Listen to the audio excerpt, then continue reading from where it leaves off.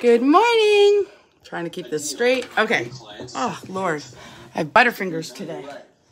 Okay, so let's get started. I'm going to use my one upper from Head Kandy. I've got it set to 330.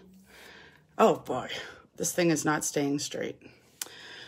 Don't be surprised if it continues to happen during this live. I'm trying to figure some stuff out with it. So anyways, that is what it is. But let's go with just quickly straightening our hair today.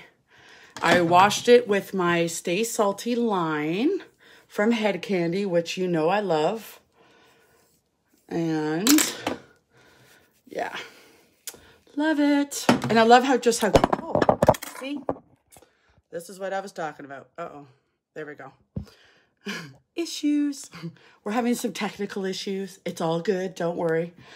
I thought it was going to stay on there, but apparently not. Oh, Jesus. Oh my gosh. Okay. This isn't working. It's a case of the Mondays, everybody. Don't worry about it. It's just a case of the Mondays. So let's do this fast. Okay. Oh, we're going to fall again. Okay.